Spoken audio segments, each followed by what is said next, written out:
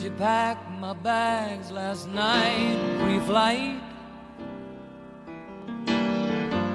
Zero hour, 9 a.m. And I'm gonna be high as a kite by then.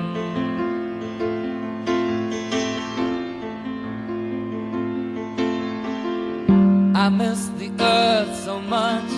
I miss my wife. It's lonely out in space on such a timeless flight.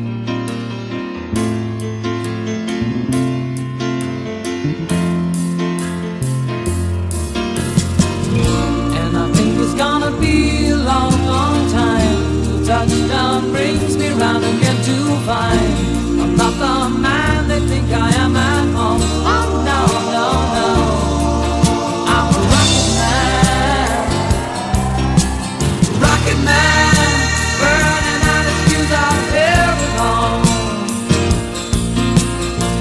Guarda a prepararsi anche su un altro speciale, su un altro Colored, vale a dire Luther Blissett. Ma senti là. Luther Blissett che oggi compie 60 anni nonostante che lui sia inglese ma non proprio nato in Inghilterra ma è nato in un'isola del Commonwealth britannico, vale a dire la Giamaica, quasi tutti quelli di colore vengono da quelle parti, centravanti che ha legato indissol- indissolubilmente il- la propria carriera a quella del Watford. All'epoca, il, il periodo d'oro del Watford, inizio anni 80, quando la- il proprietario del club, come tutti gli esperti appassionati di calcio inglese ben sanno, era il cantante pop Elton John.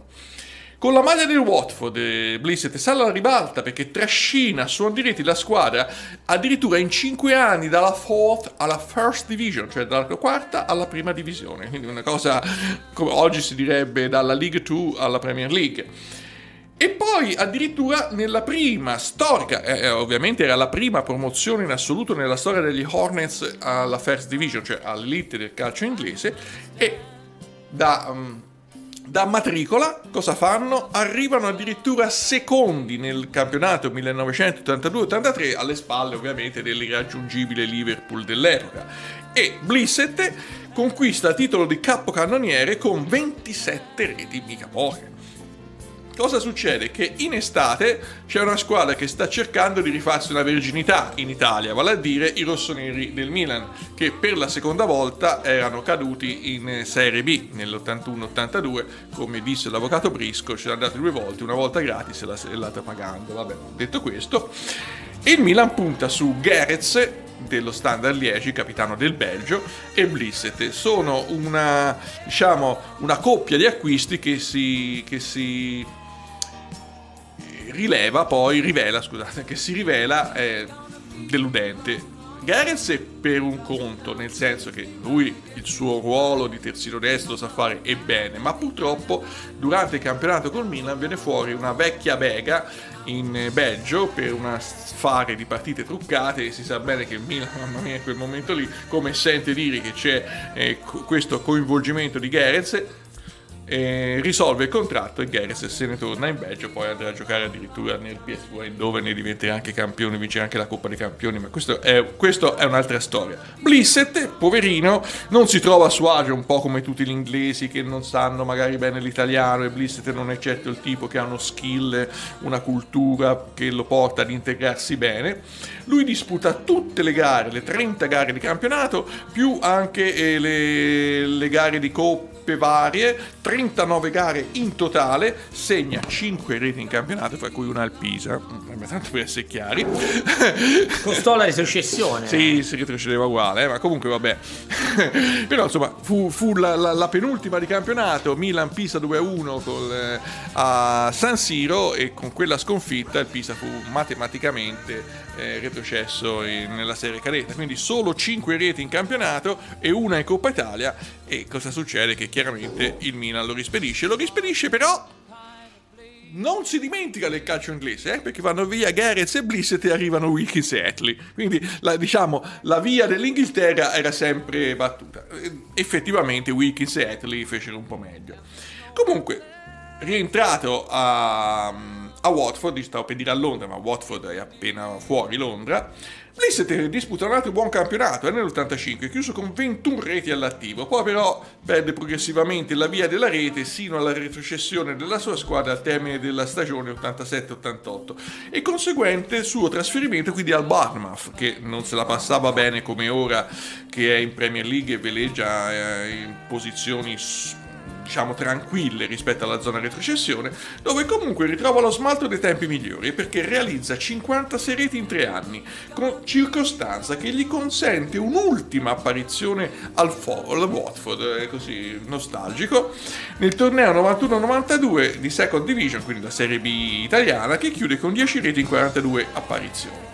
C'è da dire che i suoi folgoranti inizi di carriera, oltre ad avergli consentito un ingaggio, penso piuttosto remunerativo, anche se per una stagione solo al Milan, gli aprirono anche le porte della nazionale. Perché eh, con i Free Lions eh, esordisce il 13 ottobre dell'82, subentrando, indovina proprio a chi? A Regis.